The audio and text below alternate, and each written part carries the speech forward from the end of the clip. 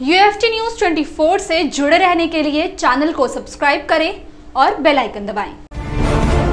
नमस्कार, आप देख रहे हैं यूएफटी न्यूज़ 24 और मैं हूँ आपके साथ प्रिया अधिकारी सबसे पहले खबरों की शुरुआत करते हैं उत्तर प्रदेश से उप मुख्यमंत्री केशव प्रसाद मौर्य लोकसभा चुनाव के बाद अपने गृह जनपद पहुँचे, जहाँ गाजे बाजे के साथ लोगों ने किया उनका स्वागत। उप मुख्यमंत्री केशव प्रसाद मौर्य लोकसभा चुनाव के बाद आज अपने गृह जनपद को कौशाम्बी पहुँचे, जहाँ पर जगह जगह लोगों ने गाजे बाजे के साथ उनका स्वागत किया।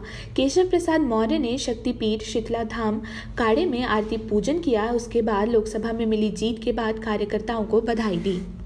तो वहीं माँ शीतला की पूजा व दर्शन कर प्रदेश व देश की सुख समृद्धि की कामना की और सैनी बस स्टॉप पर कार्यकर्ताओं से मुलाकात की। वह सिराथू स्थित अपने पैतृक आवास पहुँचे और माँ व परिजनों से मिलकर हालचाल भी जाना। कौशाम्बी से आरपी यादव की रिपोर्ट। के भ्रमण की दृष्टि से और शीतला मैया के दर्शन के लिए आया।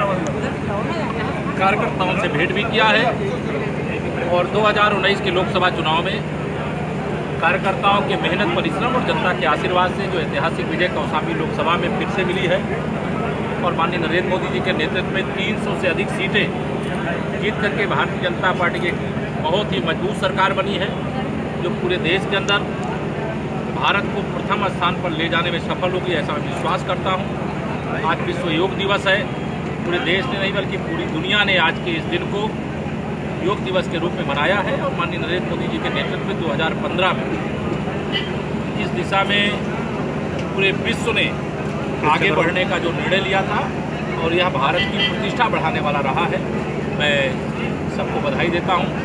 विकास की गति उत्तर प्रदेश के हर ज़िले के साथ साथ पूरे कौशाम्बी में भी कहीं रुकने नहीं दी, दी जाएगी यह पूरा विश्वास कौशाम्बी आपकी कर्मस्थली रही है आपने राजनीति शुरू किया सिराथों की सबसे बड़ी समस्या है नहरों में पानी नहीं है आज तक पानी अभी तक दूसरा ये बाबरी एक्शन कमेटी कह रही है कि वो सिर्फ़ सुप्रीम कोर्ट का फैसला मानेगी इसके अलावा और किसी मुद्दे को तैयार नहीं होंगे। वो क्या कह रहे हैं उनकी बात हम नहीं सुन रहे हैं।